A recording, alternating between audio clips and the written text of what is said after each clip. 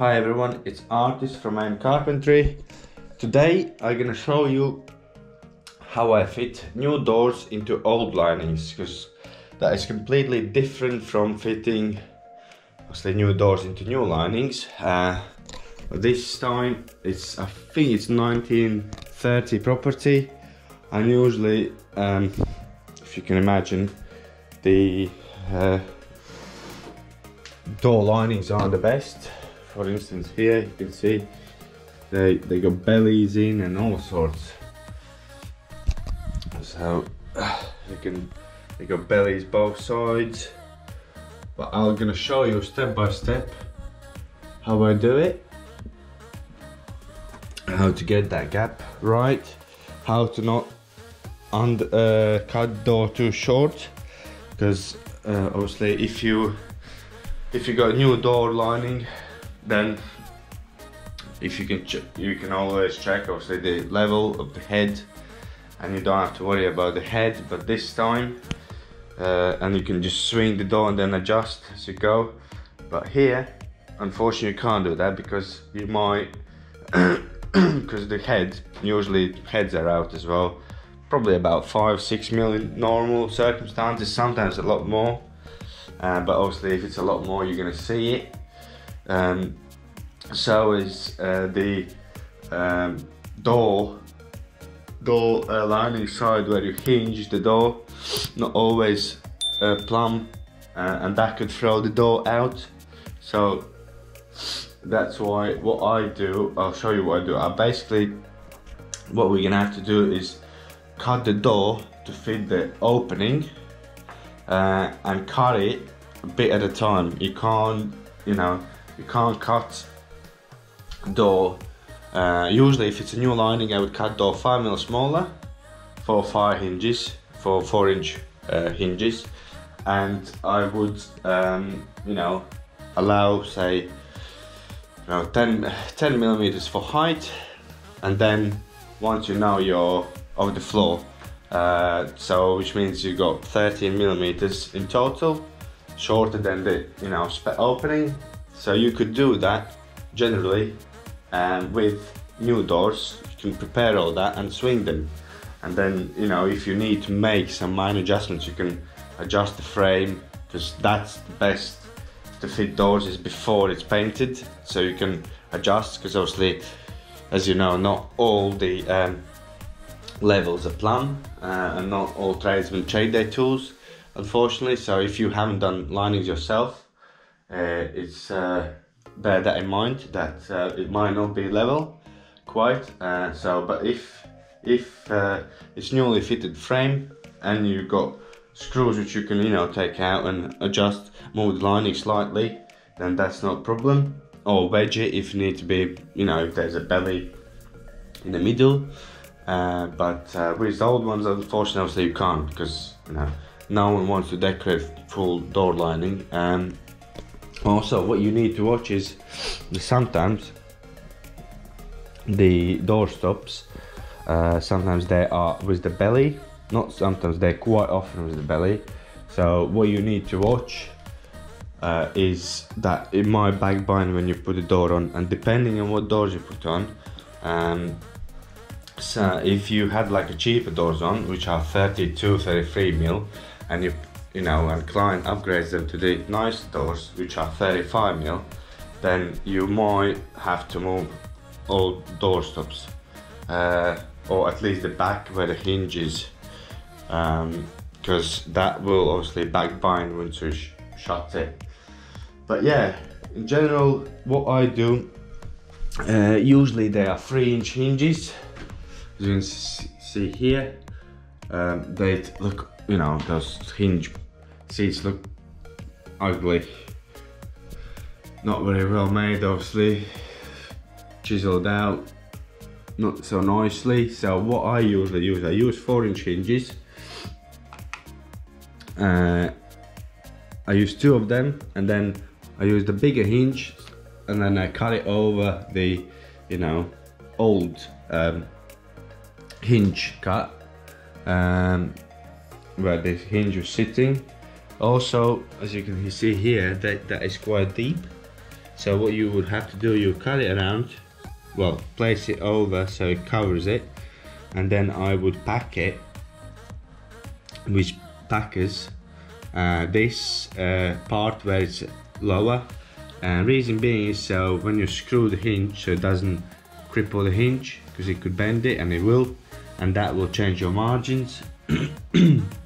And I use double-sided tape plastic packers uh, from the tub and I just use them to um, to pack it. So it's a flush fit and you know so I can properly screw the hinges onto the frame. So that's another thing I do and I go I've got my stick of truth which is how I do my hinges. So I'm at the top. I allow um, I allow about two millimeters on the head. And what that is that mark I put on the top of the door. Um, no this is a bit, bit faded I'll, I'll draw a bit better on.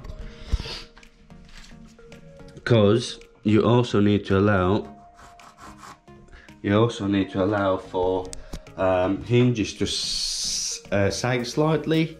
Because they over time they will sag.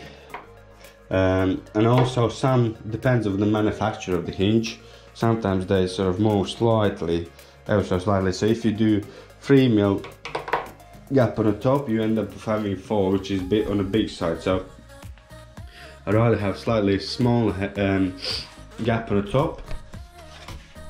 Then I put my marks well I check obviously on the lining put my marks I can see that that will cover it so that's good. Then I check the bottom one so I'm gonna have to use uh, I'm gonna have to use the second mark here.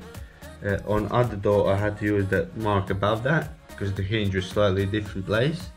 So you always need to check because they will you know very unlikely be in the same position. So once you've done that next step next step is to measure the to measure the opening which I'm gonna do in a second. Uh, and yeah I will take you through the process how I deal with these older doors. Um, so because yeah otherwise if you if you assume it's even it's hard to use levels because none of the floors are straight in all the houses and linings aren't straight either and so yeah in regards of pricing obviously uh, over time you will learn uh, how how long it'll take you so you just price accordingly per hour really because it will be it'll cost more to fit you know new doors and old linings than uh, new new doors and new linings because you could swing a lot more doors in new linings so bear that in mind when you know taking job on uh, and yeah, I hope you're gonna enjoy it and I'll catch up with you in a bit. So the first door we're gonna do, well not first, but the door we're gonna do is this bathroom one. As you can see, uh, well it's hard to see probably from video, but I can see that this head is slightly lower. That's that's okay, because what we can do, we can first cut the height um, and we're gonna cut it just so it fits in the opening without gaps nothing like that just so it fits in because then we're gonna have to cut the bottom to fit uh, the floor because floor is not level uh, which it won't be in these sort of older houses and same head is not low, because if you're gonna cut it say 10 mil smaller then that's already too much because uh, you want about five millimeters gap on a tile, you know, uh, tile floor, uh, and three mil at the head, so that's eight mil. So that's why you need to be careful. Um, so what I do, I get a dough, which is here. I lay it flat. And now I'm gonna measure all, measure dimensions.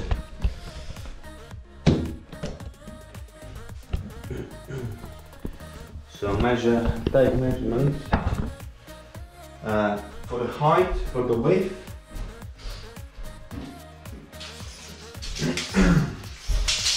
just to see what we're dealing with. So that is 19775. And that is 1975. So good good thing is quite parallel. So that is a good thing. So uh, whatever is here is parallel.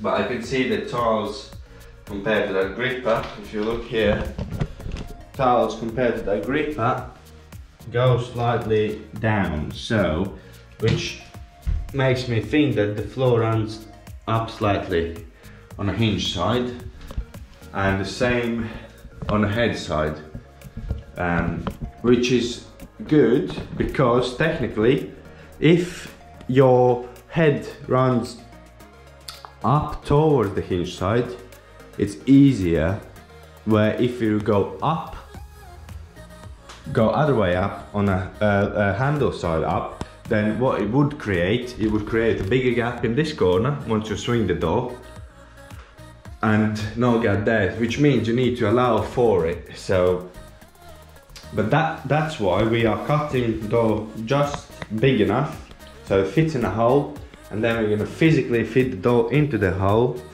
into the opening, and we're gonna mark everywhere all the gaps we need.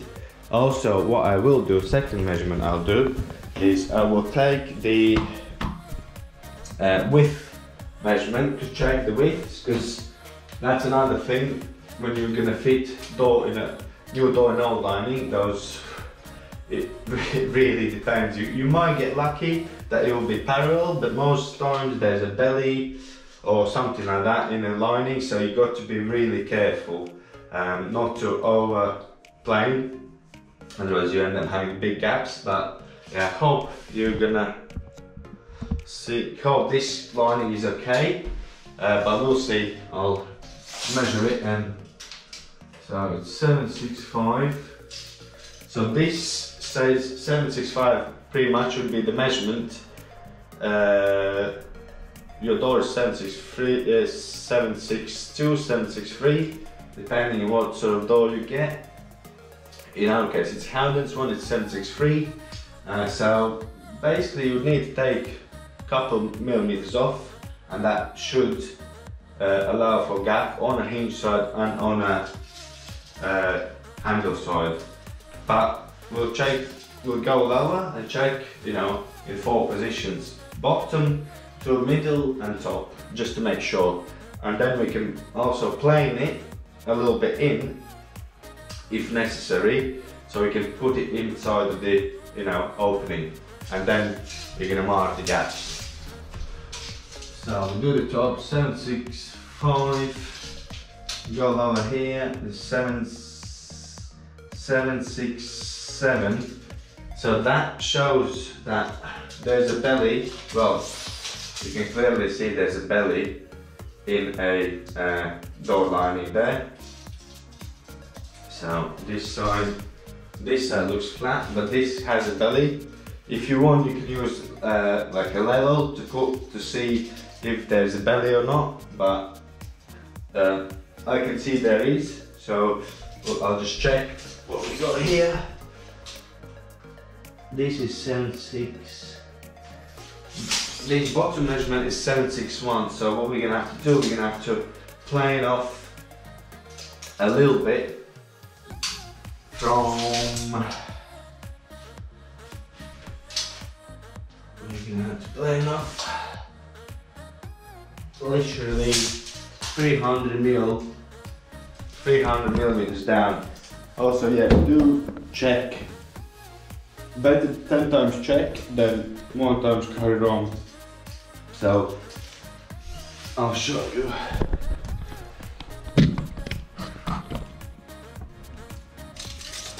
So you can see the measurement is 6762 then we go up. 762 and where the hinge roughly is it's 764 so it's 764 there. If you see it's 764 so what you want you want it planing somewhere from this area. You put a mark, put like mark on, measure down, and you know that your planed edge needs to be at uh, 380 from the bottom of the door. So, firstly we're gonna firstly we are going to um, I'm gonna cut the length of the door off and I'll just remind myself what it was it says 1973 uh, well the actual size was 1975 so I'm just gonna cut a couple of mil shorter so we can get it in opening.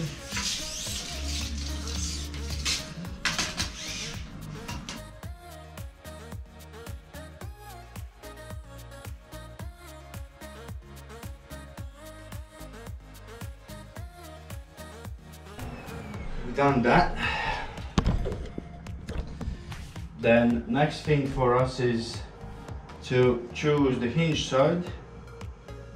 Um, which will be opposite side so we're gonna plane this edge off. So 38 up. We're literally doing it so we can get in a door opening. So we can offer the door on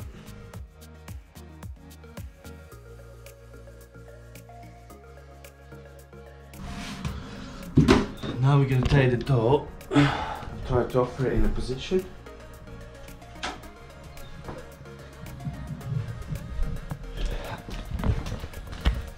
Also, what you will need, you need a, a pump bag, wind bag, call it whatever you want. I use that, and that's basically later there when you start fitting the door in a jamb opening door lining whoever you like and that is to um, is to uh, pump it, you know, to lift it up. And it saves the edge of the door because the old days where you used to use hammer and a chisel and that, you know, most likely would bugger the edge. Uh, but now these are great, those pumps, can use them so I'll get a door, we open in a position As you can see, we've got a gap on the floor. That's what I was telling you, you don't want to don't want to cut it all the way. So we're gonna have to cut this.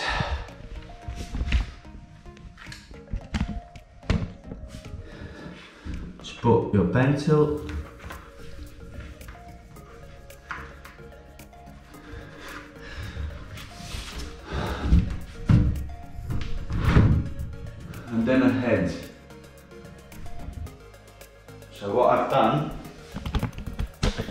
I pushed door against this side. As you can see the gap is bigger there. And that is because the, door, uh, the floor is slightly running down so obviously it wants to lean away. So what you need to push against that side and I put the mark uh, on a on a door frame with the top of our mark where the top of our uh, door is just to see how much we need to trim that top off so it fits in a in an opening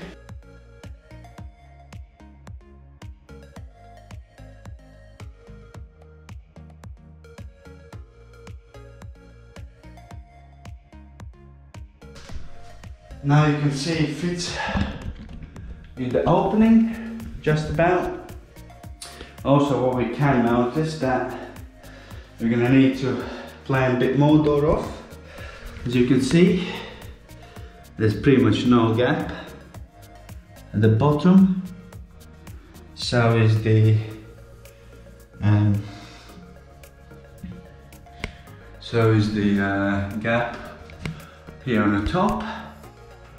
So that will have to be planned in. Again, you measure down because you don't want to over plane it. So you measure down or mark it and the doorway starts getting bigger. So this it's somewhere here. Then we know that it's all the way up there. Same, it starts from here. So I just make sure that I don't take too much off here. Let me check this side. As you can see, there's it four, right, four to five mil gap, which is good. It's not too much. Um, so, if you want to help yourself by holding a position, you can put a little wedge. So you can wedge it back and then you don't have to hold it. But I can see there, you're already gonna have to, gonna have to plane this area still more. Which is fine. Uh, and at very top as well, slightly. Because you want, well now roughly you want about 5 millimeter gap.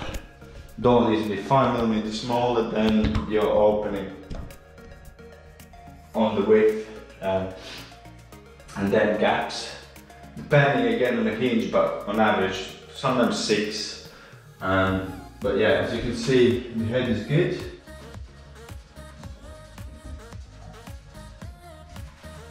pencil will wipe off, no big deal. So that's wiped off. So now we measure um, mark the bottom, to make sure the door doesn't, as you can see, as you can see we got a gap there, and then it goes up, as I said the floor runs up obviously. Um, so what we do we put pencil, which is about the gap you want on the floor, or 4 mil. We mark, and hope, hopefully that will be enough, because we don't really know what is going to be when we actually get, you know, when we swing the door open. It might be okay, but, you know, we don't know. So we're going to find that out when we actually get it um, fitted on. So that's going to be our next task. Once we cut the bottom there, we're going to cut hinges in, in the door, and also we're going to cut it there in, on the lining. And then we're to swing it, and we'll see where we're at um, at that point, and what else we need to, you know, uh, adjust to get it fit. So that's our next step. So now we can seal the door. Before we actually cut in hinges and do a planing because that will let the glue dry by the time we're done. You only want a thin coat so it's the moisture in the bathroom. Uh, it need, you know, you don't want to don't want to get in of the door. So always seal the underside of the door, especially bathroom. Bedroom doors not so much, but bathroom, shower, toilet I would say even. I always do it, it won't harm because no one's going to take the door off hinge just to get it um, painted on the bottom. So that's not going to happen. That's why you want to do it so that's done. Now we're to plane off the door slightly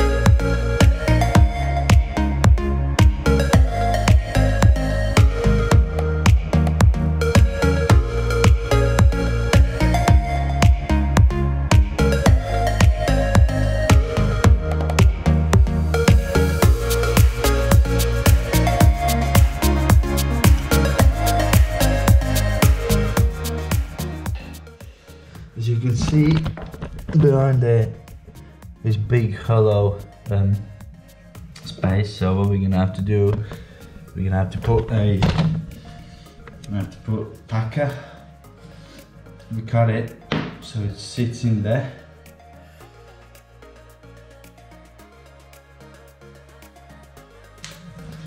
Then I take double-sided tape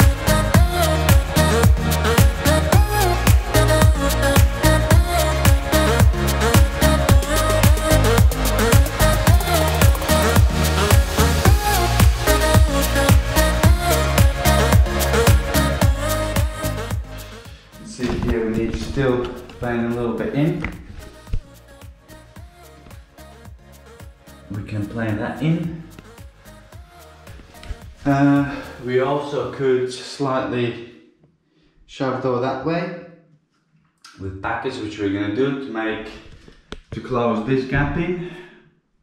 Little, that is a bit too much I would say. We want to be something like that and then if you look here gap is start too small. So that's what we can do. And reason being is because as I said, if you saw the all the holes, um, uh, obviously that's what made it like that. Because um, even though we pack it, you know, pack is squashed slightly, so we need to add some more. But you know, it's getting there. We can see that we're gonna have to plan this section in because as soon as we move it it will rub so we'll do that before we do move anything so yeah. That is getting there. There will be a little bit there to plane we can do that by hand planer um, so we'll plane this. And and then I'll peg the hinges out. Again but as you can see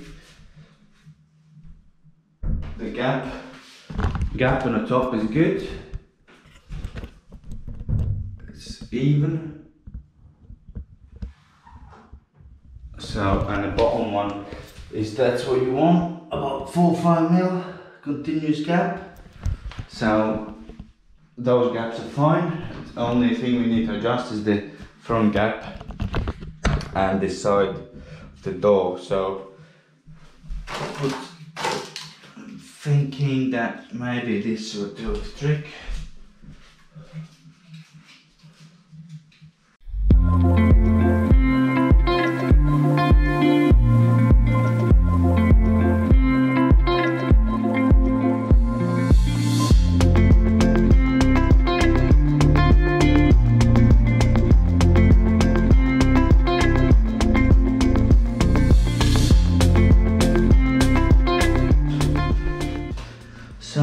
this door is cut into the opening. As you can see, the gap on the top is good. The gap on the back is good, so which means it's not going to back bind anyway. Same on a handle side. Right, on a door, on the other side of the door. So I will now repeat that process on the last door and then I'll be fitting the uh, door handles when I'm gonna catch up with you and we go through what we've done. So hope you're enjoying it and I'll catch up with you in a bit. So I have uh, fitted the last door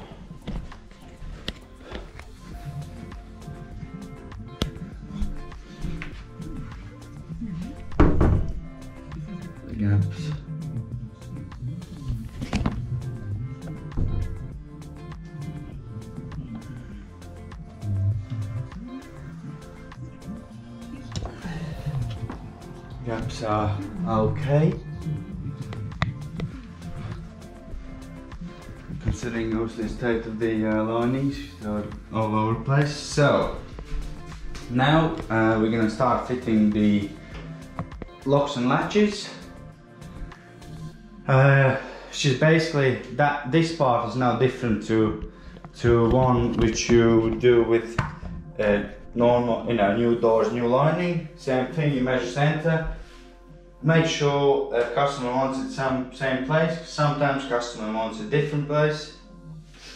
But these doors not so much, but sometimes you got panel doors and customer wants lock in the middle of the panel, the crossbar. Because this all vertical, then this doesn't really matter. So in our case, we're going to go on existing.